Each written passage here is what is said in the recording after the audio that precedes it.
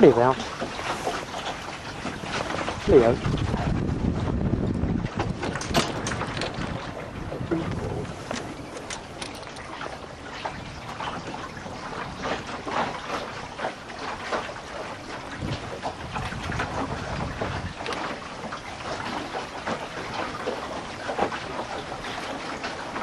Hmm,